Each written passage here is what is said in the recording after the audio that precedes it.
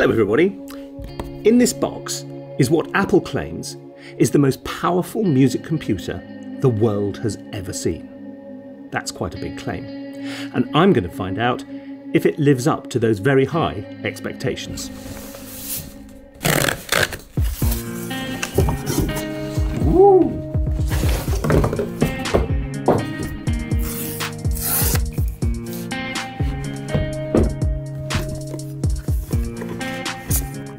Heavy.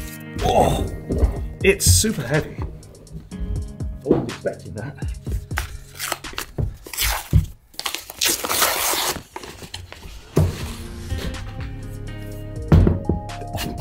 There it is. It's got 128 gigabytes of RAM. It's got the maxed out ultra processor, dual processors, the whole thing. The only thing I've skimped on is the internal solid state drive, which I'm going to use. There's a two terabyte one in here, and we're going to use a load of external ones. But look, I'm going to set this up, and then we can start getting into the real nitty gritty of how good it is at making music.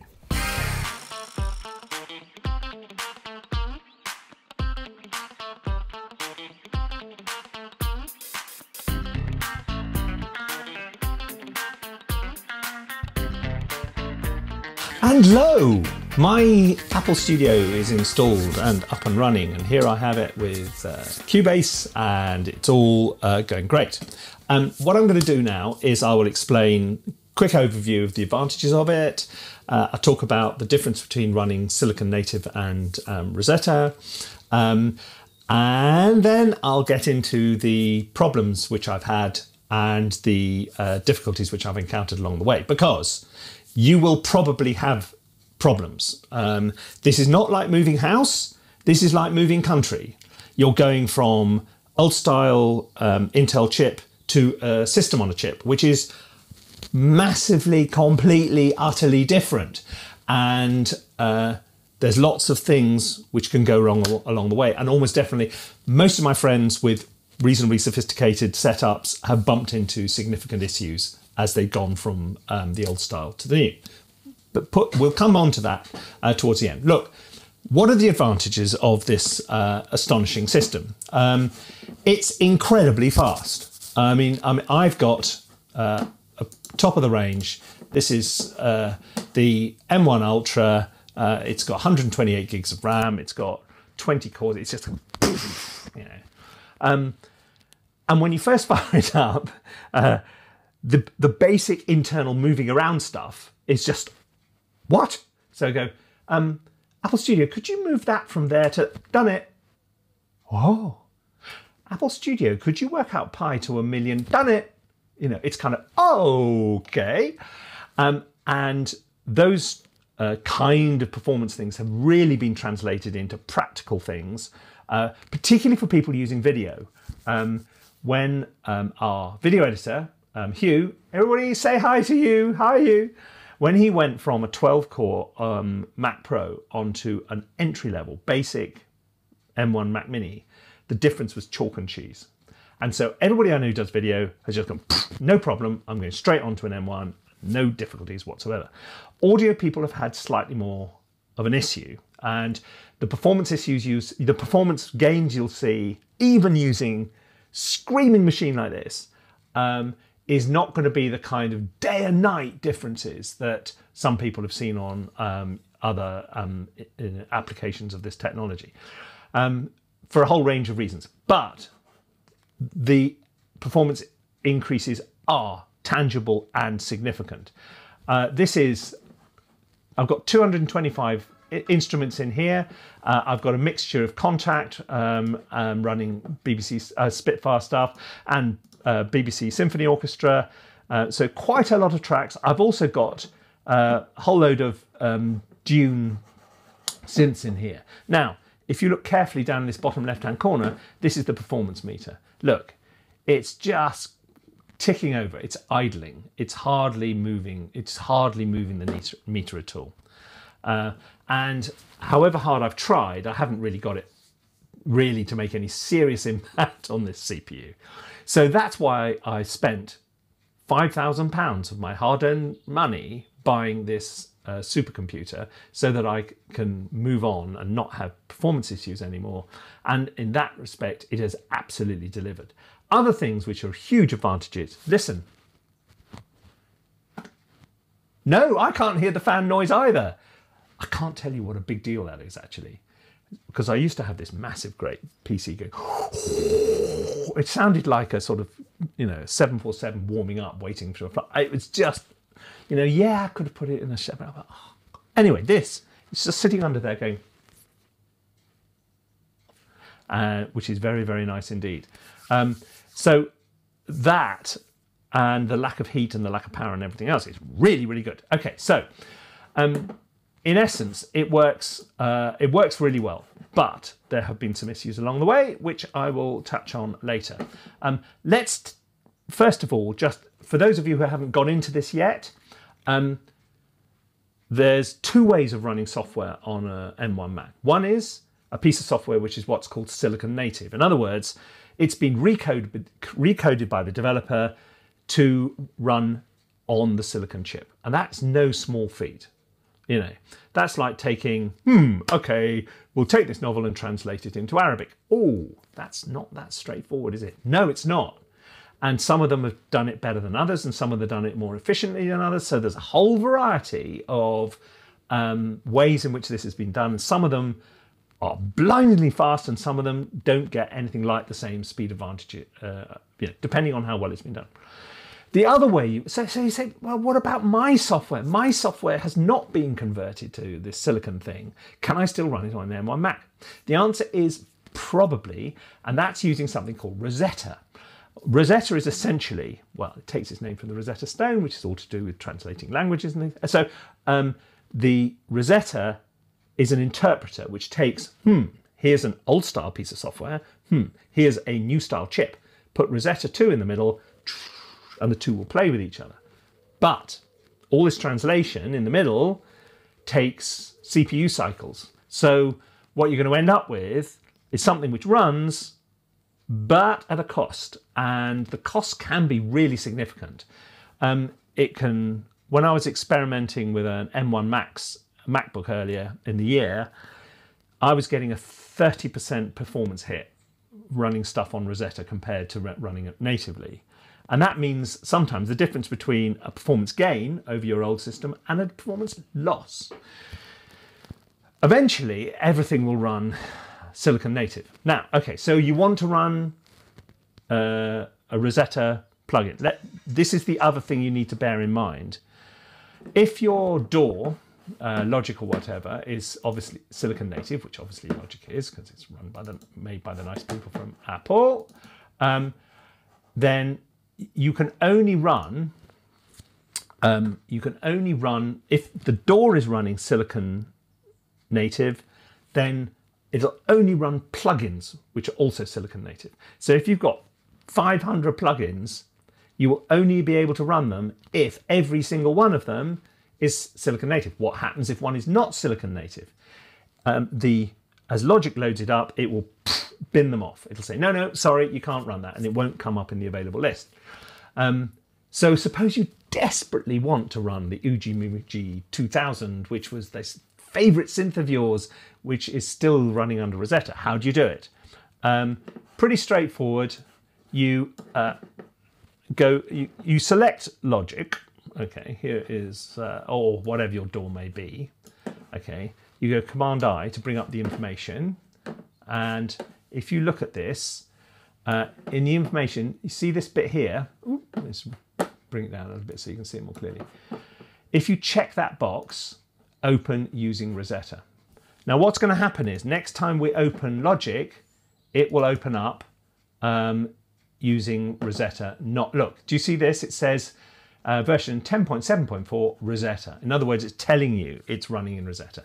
Now when you run it, you'll be able to access all those old plugins. But at a significant cost in terms of CPU. So you pay your money, you take your choice. Okay. Um, so if you're going to go on to an M1 Mac, you've really got to buy into this whole lifestyle. you've just got to go silicon native or bust. Okay.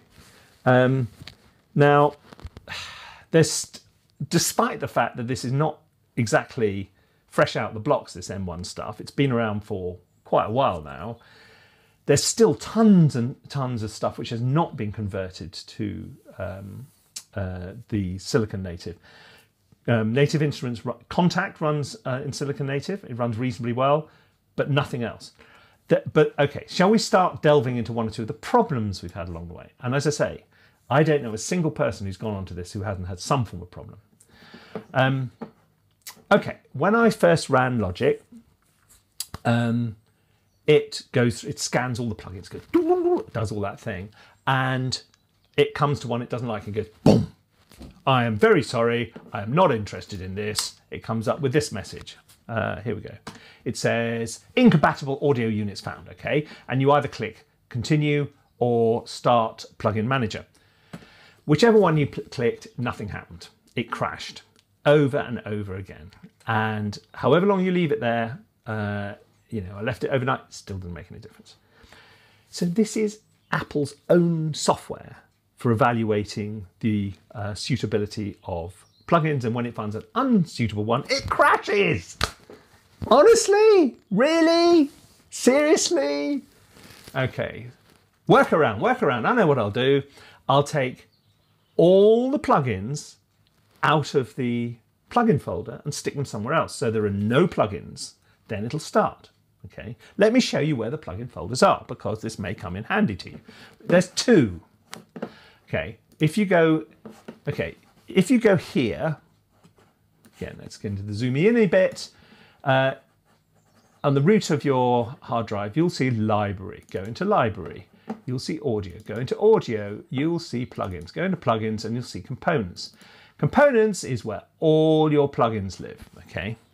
Now, there's more than one library folder. Here's the other. Here's the other good thing. Look, you also have a user library folder. How do you get to it? If you go to Go and then you push Option watch that menu, the library folder pops up, yeah? Now, this is a different library folder, okay? And so here are all the audio things in here, and there's all the plugins, and there's any components. Normally, it, will keep all the plugins in one place and not another. Okay, so I get rid of all the plugins, and I load the thing up, and it still doesn't work. Look, you don't believe me? Look, so here is a screenshot.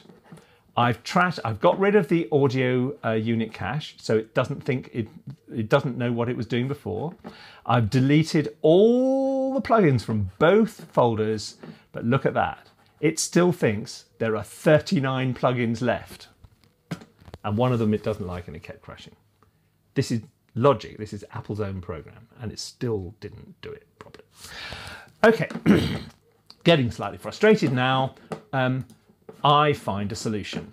Uh, the solution is uh, from a company called MacPaw, who make a program called uh, Clean My Mac X.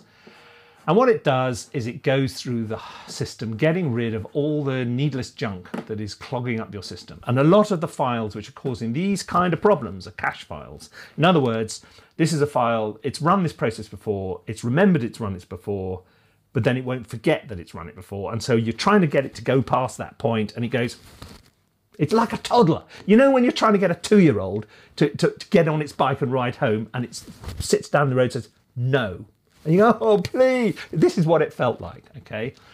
And it does seem stupid that I've spent £5,000 on a Apple Studio, you know, possibly the last supercomputer I'll ever have to buy. And yet to get Apple's own program running, I have to spend £30 on a piece of software made by these excellent people, MacPaw, to sort it out. I think there's a problem there. Right. Anyway, moving on. Um, uh, another problem I had was uh, disk utility. Okay, so um, every now and again a drive gets slightly corrupted and you or you, you need to go into um, disk utility and repair stuff okay? So you go shift command u up comes the utilities folder you open disk utility and then it will allow it inspects all the drives and then it allows you to do first aid and all that malarkey. So i put a drive in and it go it's an hfs drive formatted for the last version of um, um, Apple because I was using also with other drives which wouldn't recognize the new one. It says, oh no, can't repair this drive. It's too badly damaged. Copy everything off, quick. Really? Really? Okay. I go and plug it into an old Intel Mac, run disk utility. Oh, right, no problem. I'll sort that out for you. Fixed it. Okay. So this is M1 Mac won't fix an Apple drive, but an Intel Mac will. I then have an even more serious problem. I have an 8 terabyte drive, which is no small investment. And I go, I need to reformat it. Won't do it. What? No, sorry, not interested. Okay, so this is uh, running on the Apple Studio. I then go back to uh, Monterey, this operating system, running on an Intel Mac, and it still won't do it. Eventually, I go back to an Intel Mac running an earlier version of the operating system, and Disk Utilities erases the drive, and everything's fine. So there are problems with USB, there are problems with Disk Utility, there are problems with um, the evaluation tool. Um, I have had um, a couple of other issues as well while we're on the subject. Um, one of them, um, you know, small things. Cubase runs great. Kontakt, broadly speaking, runs pretty well. I have had some issues uh, with it forgetting um, its um, some of the instruments, and you have to relocate them when it loads. And it's not the end of the world, um, but it's the kind of thing which you could live without, really. But then, you know, this is the problem is, uh, and this is, I think, uniquely a problem which, well, not maybe uniquely, but it's it is a problem which we audio people have. You see, we're not just using that one central piece of software like Premiere, whatever. We're using all these pieces of software produced by all these different people all over the world. So there's dozens of developers have to get this right for the whole thing to work. And it doesn't always work. So you must expect if you go on to an M1 there to be some fairly significant bumps along the road. Okay. Um, you really don't want to have to use Rosetta because you might end up with worse performance than the machine you came off. However, you there's no point in saying, "Oh well, I'll wait." I mean, wait, if you can wait, wait. But if you're gonna, if you need to buy a new Mac, there's only one game in town, and that's the M1 chip. So, or M2 chip, or M3, or whatever else it is. By the time you watch this, um, so we're going to have to bite this bullet if you want to use a Mac. Okay, here we go. Here's that problem I was talking about. But, oh, where's it gone? Uh, there you go. Kontakt comes up and says one or more of the Kontakt instances recalled correctly uh, cannot be recalled correct, uh, correctly. So then it opens up, and the first time you open Kontakt, it says please find these files, and you go yeah sure, and then it finds them and lives them. But it's just another little thing which uh, you can probably live without. Um, but this is all part of the pain of going onto a new system. Here you go, look. Up it comes, then that, then you go browse a folder, and you then go onto the, uh, find the folder where you know that particular lot live, and you go, go on then, knock yourself out, find the files, and it goes whoosh, and it goes through and finds them pretty quickly, and then you're good to go. But look, I hope you found this helpful. Um, I'm pleased I've gone onto an M1 Mac, frankly, because the performance increase I'm getting are huge. And the lack of noise and heat and everything else is great. There is only one way forward, and that is making it work with the M1. So I'm going, I'm sticking in there and waiting for it, the various things to get better. Um, along the way, however, it's going to be a while before all these problems are ironed out. And some of the ones which originate with Apple's own software, I find surprising. really surprising. Uh, so look, I mean, the advantage from your perspective is that I will be able to use, uh, you know, Mac only software and some of these like Logic, so we can do some stuff in Logic, not just in uh, Cubase and things. So I'm going to be broadening out a little bit, I think. So look, I hope you found that useful. Um, please, just one last plea in the uh, in the comments. Don't turn into a Mac versus PC, um, you know, civil war. It's just they're only tools. We're just trying to write music, okay? If you want to use a PC, that's fantastic. If you want to use a Mac, that's also fantastic. I don't want any sort of lobbing grenades over the Great Divide. If you can possibly manage not to do that, I'd be grateful. Thank you very much indeed. Right, that's all for today. Uh, uh, I'll be back in the very near future uh, with something probably more creative and less technical. See you again.